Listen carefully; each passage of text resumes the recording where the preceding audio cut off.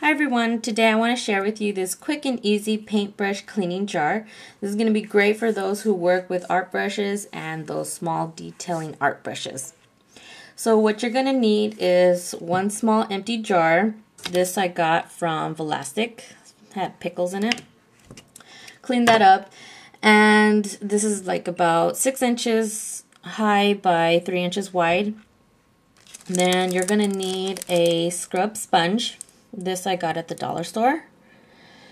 And uh, you want to get the sponges that are about an inch thick. Anything bigger, it's just going to absorb um, either the acetone or water, whatever you're going to be using. It's going to soak it right up and it's best to have a, a small thick one, a small inch one. So, and then lastly, you'll need some scissors. So, um, you pretty much just estimate how much you need to cut from the sponge and place it in your jar, as you can see. One side, you need to leave it a little bit more, a little bit more spacious, and there's more space up there to place the second part of the sponge. And then with this sponge, you're going to place it vertically inside the jar. And you'll see why here in a second why um, we're going to place it vertically. So, and that's all. There it is. It's going to look like that. And then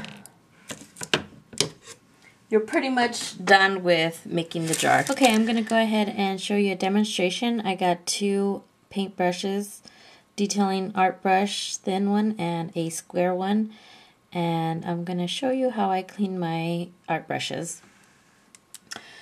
You want to grab um, your acetone, and acetone will be perfectly fine if you use acrylic uh, paints. You want to put, let's see, about a quarter of a cup to half a cup of acetone. And you just simply, I'm going to start with a flat brush and simply let it soak. Go off to the side here and dip it. For about 10-15 seconds. And then just start swiping the brush back and forth.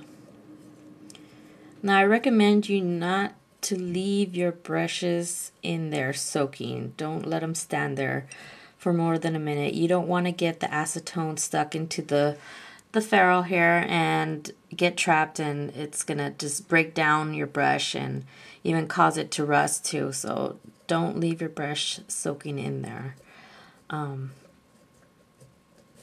so I'm just gonna keep repeating swiping back and forth until it is clean now, um, some paints will stain your brush, but that doesn't mean your brush is not cleaned. So, just keep doing until you feel it's cleaned enough. And here on the top, I'm just gonna swipe off the excess, excess. And there's your brush you can tell the blue paint kind of, the acrylic paint kind of stained it, but you can, if you feel like you want to uh, repeat it again, go ahead.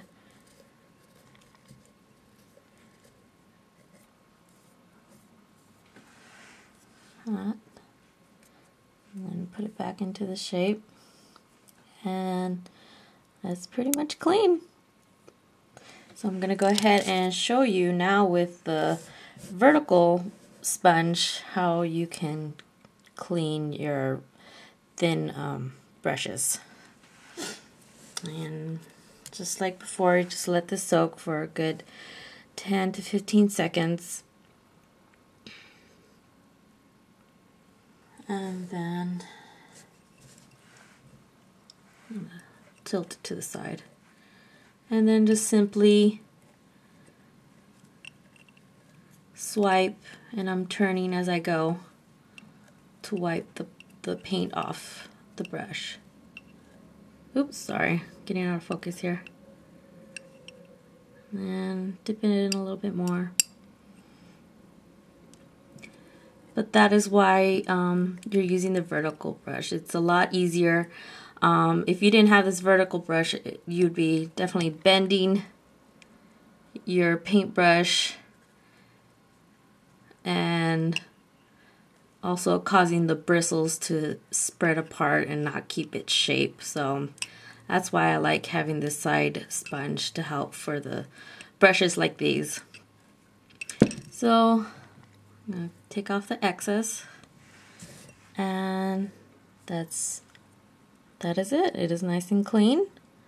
And the good thing about pure acetone, it dries pretty fast, so you can automatically use these for your nail art. Um, all you need to do is get your lid, close it back up nice and tight, so your um, acetone, if you're using acetone, it will not uh, evaporate. And that is it. That is your paintbrush cleaning jar. I hope you like that. Um, if you have any other questions, let me know. I think I'm going to decorate the top jar here and put something on it to give it a nice girly touch. But I hope you guys are doing good. And thanks for watching. Take care. Bye.